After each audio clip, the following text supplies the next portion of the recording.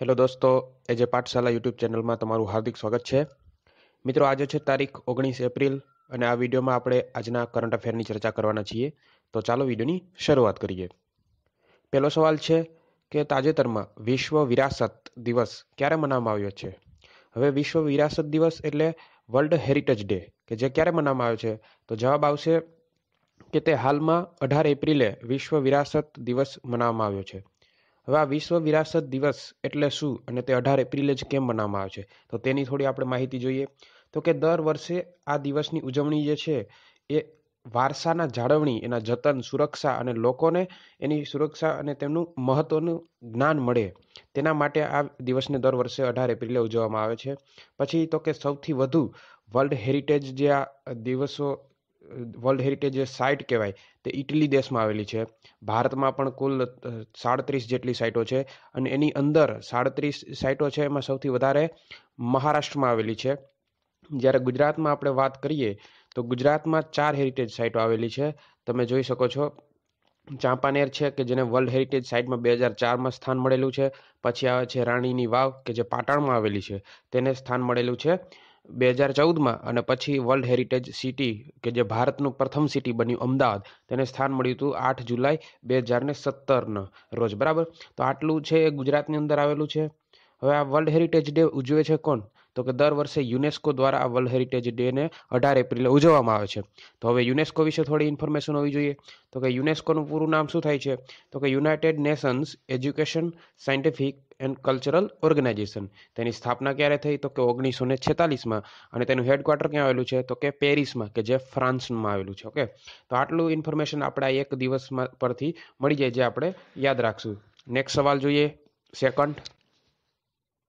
તો સેકન્ડ સવાલ છે કે આઈટીટીએફ એ કોરોનાને કારણે ક્યાં સુધી ટેનિસની તમામ રમતો હાલ પૂરતી સ્થગિત કરેલ છે? તો જવાબ આવશે ત્રીસ જૂન સુધી આઈટીટીએફએ કોરોનાને લીધે બધી જ ટેનિસની રમતો ત્રીસ જૂન સુધી સ્થગિત કરેલી છે. બરાબર? એક પણ હવે ટેનિસની રમતો રમાશે નહીં ત્રીસ જૂન સુધી. કોરોનાને કારણે. તો હવે આઈટીટીએફે સ્થગિત કરેલી છે, તો આપણે આઈટીટીએફ વિશે થોડું જાણીએ કે તે શું છે? તો કે આઈટીટીએફનું પૂરું નામ થાય છે International Table Tennis Federation. International Table Tennis Federation, કે જેનું હેડક્વાર્ટર આવેલું છે લુસાને શહેર કે જે સ્વિટ્ઝરલેન્ડનું છે, બરાબર? અને આ દર વર્ષે ટેનિસની રમતો રમાડે છે. આ ફેડરેશન દ્વારા રમાડવામાં આવે છે, પણ આ કોરોનાને કારણે ત્રીસ જૂન સુધી બધી જ રમતો સ્થગિત કરી દેવામાં આવી છે. નેક્સ્ટ સવાલ જોઈએ, થર્ડ, કે હાલમાં કયા ભારતીય ક્રિકેટરને સ્પેનની top divisional football league La લીગાના brand ambassador બનાવવામાં આવે છે? તો કે એક સ્પેનની બહુ ડિવિઝનલ ફેમસ ફૂટબોલ લીગ છે, જેનું નામ છે લા લીગા. કે તેના પ્રથમ વખત કોઈ ક્રિકેટર બ્રાન્ડ એમ્બેસેડર બન્યા છે અને એ પણ ભારતનો. તો તેમાં કોણ આવશે? તો જવાબ આવશે રોહિત શર્મા, કે જેને બ્રાન્ડ એમ્બેસેડર બનાવવામાં આવે છે આ લા લીગા ફૂટબોલ લીગના. બરાબર? તો હવે આપણે આ લાલિગા શું છે એના વિશે થોડી આપણે જાણીએ. તો કે લાલિગા એ સ્પેનની સૌથી મોટી ફૂટબોલ ક્લબ છે, બરાબર છે? જેની સ્થાપના ઓગણીસો ને ઓગણત્રીસમાં થઈ હતી, બરાબર? આ ઉપરાંત આપણે બીજો એક કરંટ અફેરનો સવાલ બની શકે કે તાજેતરમાં જ ક્રિકેટરની એક ઓનલાઈન કોચિંગ કરાવનારી કંપની છે ક્રિકેટ કિંગડમ તેના પણ નવા બ્રાન્ડ એમ્બેસેડર તરીકે રોહિત શર્માને ઘોષિત કર્યા છે, બરાબર? તો આ સવાલ પરથી આપણે બે જવાબ મળી શકે છે, બે સવાલ આપણે યાદ રાખશું કે રોહિત શર્મા એ હાલમાં કઈ બે વસ્તુના બ્રાન્ડ એમ્બેસેડર બન્યા છે? તો કે એક સ્પેનની જે ફૂટબોલ ક્લબ છે લા લીગા તેના બ્રાન્ડ એમ્બેસેડર બન્યા છે અને એક ઓનલાઈન ક્રિકેટ કોચિંગ કરાવતી કંપની છે ક્રિક કિંગડમ તેના પણ બ્રાન્ડ એમ્બેસેડર બન્યા છે. બરાબર? તો આટલું આપણે આ ક્વેશ્ચન પરથી યાદ રાખશું. નેક્સ્ટ સવાલ જોઈએ ચોથો, કે તાજેતરમાં કૃષિ મંત્રી નરેન્દ્રસિંહ તોમર દ્વારા કઈ એપને લોન્ચ કરવામાં આવી છે અથવા તો શરૂ કરવામાં આવી છે? તો હાલ જે આપણા કૃષિમંત્રી છે નરેન્દ્રસિંહ તોમર, તેના દ્વારા એક નવી કિસાનો માટેની કિસાન રથ નામની એક એપ્લિકેશન શરૂ કરવામાં આવી છે. બરાબર? તો હવે આ કિસાન રથ એપ્લિકેશન શું છે? એના વિશે થોડું આપણે જાણીએ. તો કે કિસાન રથ એપ્લિકેશન દ્વારા ખેડૂતો, કિસાનો ટ્રેક્ટર છે તેને ખરીદી શકશે, ઓનલાઈન બુક કરી શકશે અને અથવા તો એને જો ભાડે જોતું હશે તો ટ્રેક્ટરને તે ભાડે પણ બુક કરી શકશે. જેથી કરી તે તેના પાકને જે યાર્ડ સુધી કે ત્યાં સુધી પહોંચાડવું હોય તો ત્યાં સુધી તે પહોંચાડી શકશે. તો આ એપ્લિકેશન જે કિસાનો માટેના મહત્વની એપ્લિકેશન છે કિસાન રથ. તે હાલના આપણા કેન્દ્રીય કૃષિમંત્રી નરેન્દ્રસિંહ તોમર દ્વારા લોન્ચ કરવામાં આવી છે. બરાબર? નેક્સ્ટ સવાલ જોઈએ. પાંચમો સવાલ છે, ભારતના કયા રાજ્યમાં સૌ પ્રથમ દીપડાને ક્વોરન્ટાઇન કરવામાં આવ્યો છે. તો મિત્રો, કોરોનાને કારણે જે માણસોને ક્વોરન્ટાઇન કરવામાં આવે છે, પણ હાલ હવે તમને જાણીને નવાઈ થશે કે પ્રાણીઓમાં દીપડાને સૌ પ્રથમ ભારતના ગુજરાત રાજ્યમાં અને ગુજરાતની અંદર ગાંધીનગરમાં તેને સૌ પ્રથમ ક્વોરન્ટાઇન કરવામાં આવ્યો છે. બરાબર? તો દીપડાને ક્વોરન્ટાઇન કરવામાં આવ્યો છે અને તે કરવામાં આવ્યો છે ગુજરાત રાજ્યમાં. તો આપણે ગુજરાત વિશે થોડી ઇન્ફોર્મેશન જોઈએ કે ગુજરાતમાં કેટલા નેશનલ પાર્ક રાષ્ટ્રીય ઉદ્યાનો આવેલા છે. બરાબર?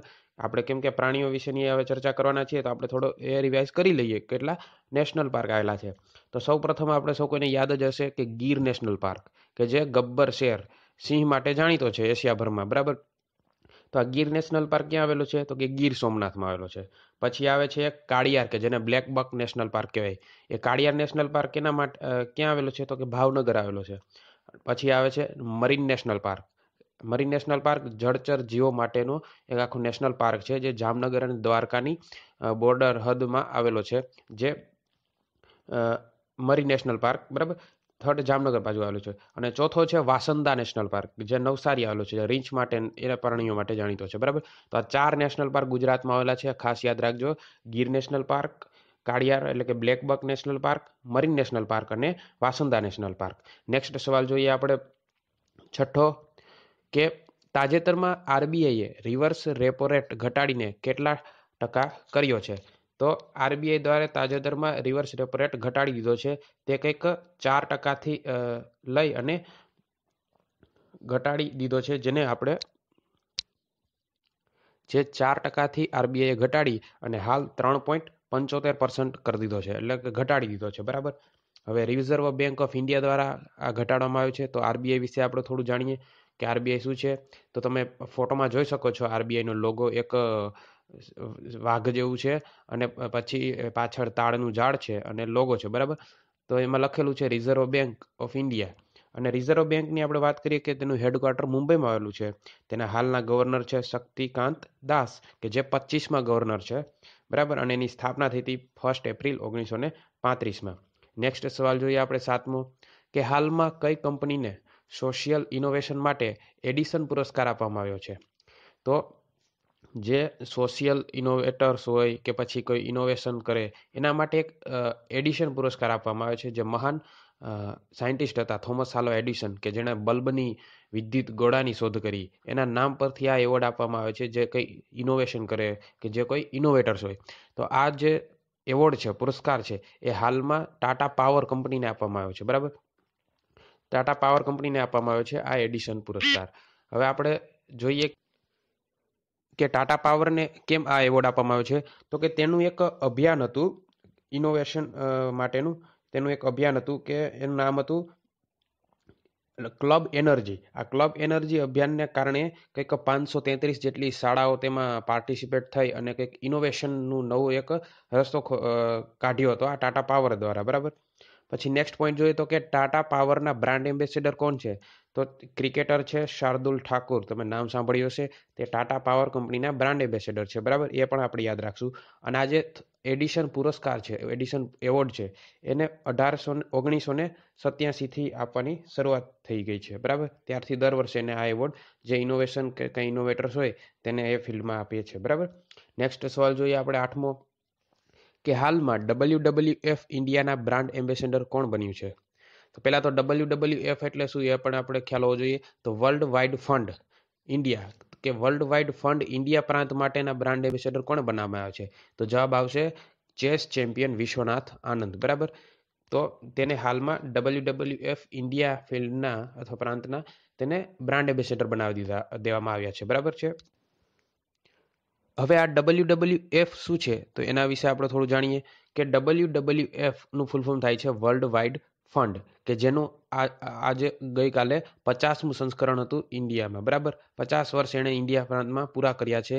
એની યાદમાં એણે હવે ઇન્ડિયામાં વિશ જે ચેસ ચેમ્પિયન છે, વિશ્વનાથ આનંદને નવા બ્રાન્ડ એમ્બેસેડર ઘોષિત કરી દીધા છે. હવે ડબલ્યુ ડબલ્યુ એફ ઇન્ડિયાની સ્થાપના ઇન્ડિયામાં ઓગણીસો ને ઓગણસિત્તેરમાં થઈ હતી, બરાબર? આ ઉપરાંત દર વર્ષે જે અર્થ અવર ડે આપણે સાંભળ્યું હશે, એ અર્થ અવર ડે જે છે એ દર વર્ષે ડબલ્યુ ડબલ્યુ એફ દ્વારા ઉજવવામાં આવે છે. બરાબર છે? અને આ અર્થ અવર ડે એટલે કયો દિવસ? તો કે દર વર્ષે જે માર્ચ મહિનાનો જે લાસ્ટ સેટરડે હોય, છેલ્લો શનિવાર માર્ચ મહિનાનો, એ દિવસને દર વર્ષે અર્થ અવર ડે તરીકે ડબલ્યુ ડબલ્યુ એફ દ્વારા ઉજવવામાં આવે છે. બરાબર છે? તો આટલું આપણે ઇન્ફોર્મેશન મળે કે આ સવાલ પરથી? નેક્સ્ટ સવાલ જોઈએ નવમો. કે હાલમાં ભારત સરકારે બધા જ ડાક સેવકોને કેટલા લાખ રૂપિયા આપવાનું ઘોષિત કર્યું છે? તો કે જો કોઈ ડાક સેવક કે જે હાલ ડાક કર્મચારી કે ડાક સેવક કે કોઈ ગ્રામીણ ડાક સેવક હાલ કોઈ પણ જે કામ કરે છે અને એમાં જો કોરોના પીડિત થાય, તો તેના, તેની સહાય માટે કેન્દ્ર સરકારે દસ લાખ રૂપિયાની સહાય કરવાનું હાલ ઘોષિત કરી દીધું છે. બરાબર? તો એ આપણે યાદ રાખશું. નેક્સ્ટ સવાલ જોઈએ દસમો. કે તાજેતરમાં ગરીબ કલ્યાણ યોજના અંતર્ગત કયા રાજ્યએ એક જ દિવસમાં અનાજ વિતરણનો રેકોર્ડ બનાવ્યો છે.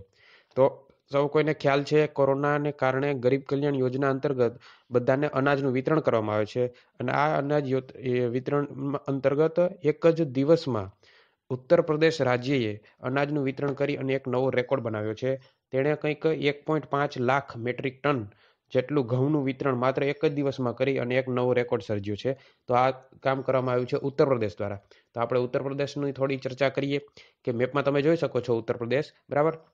ઉત્તર પ્રદેશનું પાટનગર કયું છે? તો કે લખનઉ અને લખનઉ કઈ નદીના કિનારે આવેલું છે?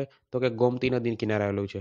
પછી વાત કરીએ એના ચીફ મિનિસ્ટર કોણ છે? તો યોગી આદિત્યનાથ. એના ગવર્નર છે આનંદીબેન પટેલ. આ ઉપરાંત ઉત્તર પ્રદેશનું રાષ્ટ્રીય વૃક્ષ ઘણી વખત પૂછાઈ જાય છે, જે છે આસોપાલવનું વૃક્ષ, બરાબર? તો આટલી ઇન્ફોર્મેશન આપણે ઉત્તર પ્રદેશ તરફથી મળશે અને આ સવાલમાંથી મળશે. તો મિત્રો, આ કંઈક આપણે આજના સવાલો જોયા કરંટ અફેર્સના આઈએમપી ઇમ્પોર્ટન્ટ બની શકે તેવા સવાલો. નેક્સ્ટ સવાલ જોઈએ આપણે, કે કાલે મેં એક સવાલ પૂછ્યો હતો કે વર્લ્ડ વોઇસ ડે ક્યારે મનાવવામાં આવે છે? તેનો જવાબ, મિત્રો, તમે પાર્ટિસિપેટ થાવ અને પ્લીઝ કમેન્ટમાં લખો. અને જો આજે નવો સવાલ આવશે અને તમને આવડતો હોય જવાબ અને ન આવડે તો પણ તમે કોશિશ કરો. એક વખત તમે સવાલને લખી નાખશો એ તમને ક્યારેય પણ ભૂલાશે નહીં, બરાબર? તો લખવાની આદત પાડો. તો એનો જવાબ આવશે કે સોળ એપ્રિલે વર્લ્ડ વોઇસ ડે મનાવવામાં આવે છે દર વર્ષે. આજનો સવાલ જોઈએ કે ડબલ્યુએચઓની સ્થાપના ક્યારે થઈ હતી? હું પહેલાં એનું ફૂલ ફોર્મ કહી દઉં. વર્લ્ડ હેલ્થ ઓર્ગેનાઇઝેશન વિશ્વ આરોગ્ય સંસ્થા છે કે જેની સ્થાપના ક્યારે થઈ હતી? ઓપ્શન છે ત્રણ એપ્રિલ, ચાર એપ્રિલ, પાંચ એપ્રિલ કે સાત એપ્રિલ. બરાબર? તમારે એનો આન્સર કમેન્ટ કરવાનો છે અને બધાએ પાર્ટિસિપેટ થવાનું છે અને કમેન્ટ કરવાનું છે. બરાબર? તમે લખશો એટલે તમને ભૂલાશે નહીં. ગેરંટી દઉં છું. તો મિત્રો, આ કંઈક આપણું આજનું કરંટ અફેર હતું. કેવું લાગ્યું? પસંદ પડે વીડિયો તો પ્લીઝ લાઇક કરી દો અને સબસ્ક્રાઇબનું બટનમાં દબાવી અને બે લાઇકન દબાવી દો. જેથી કરી તમને ડેલીનું કરંટ અફેર મળી જાય. તો મળીએ નેક્સ્ટ વિડીયોમાં ત્યાં